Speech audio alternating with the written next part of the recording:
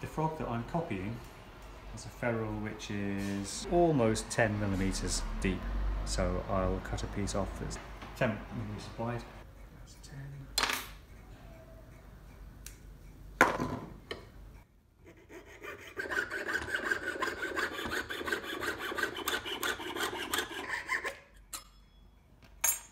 And just straighten up that very wavy cut.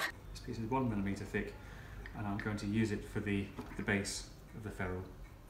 Now I'm going to find a piece that's 0.8 millimeters thick and that will form the curved top surface. So I'll cut this also to one centimeter wide.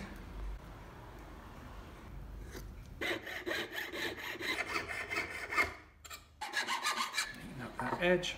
The silver comes with a protective sheet, a blue layer on it, which I'm going to remove now.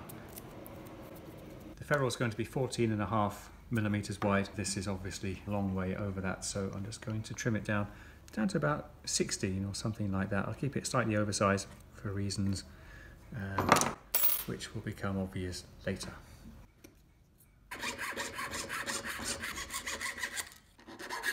The, the saw is a jeweler's saw, has a very, very fine cutting blade.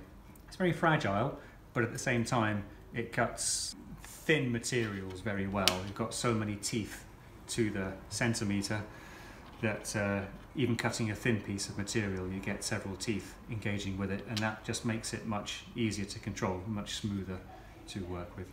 This offcut goes in the scrap box, full of scrap silver, look at that, worth a fortune. And now I just take a former to shape this. I just do this by, by hand uh, to an extent. I just put this, this tapered mandrel, which I just put the silver over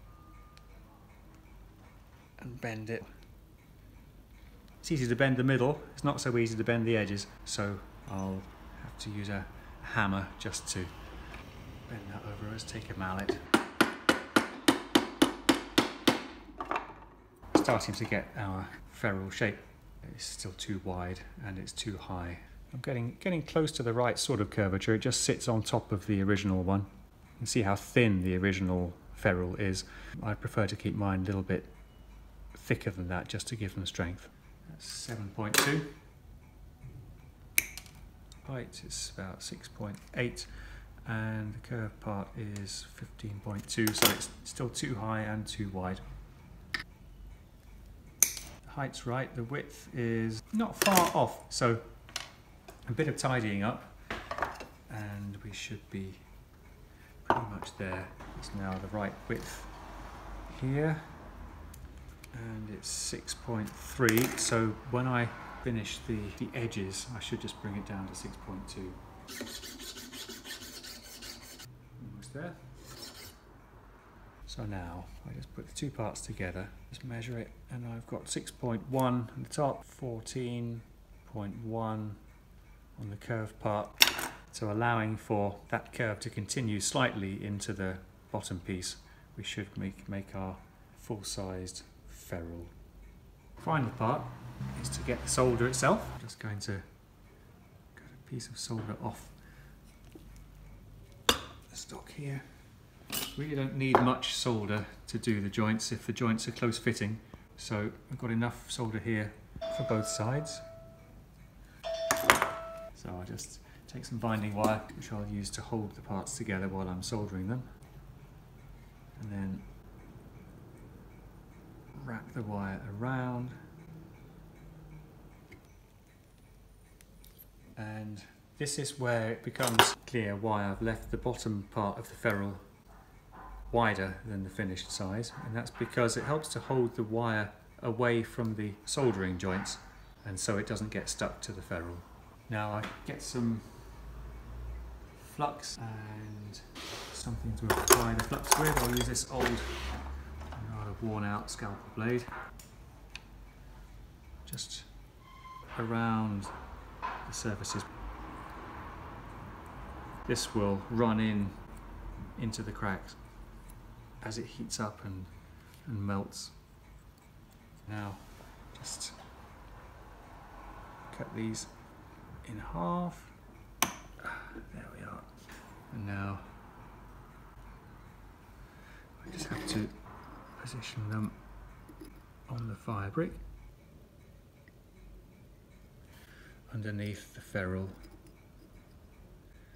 I want them to stand just underneath where the seams will be. And you can see how the flux is boiling away. Keep the flame moving around the ferrule. Heat it all up evenly. And the ferrule will go to quite a strong red colour. Solder is starting to melt. There it goes, both sides. Just let the solder run up all the way and switch off. And now I can take the ferrule and quench it. I should be able to take off the wire now without it having stuck to the ferrule. And put this on the mandrel now. and Start, start shaping it.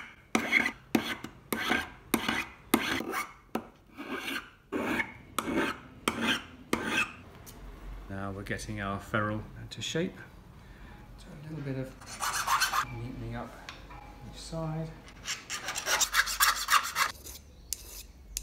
And there we have the ferrule ready to mount on the frog.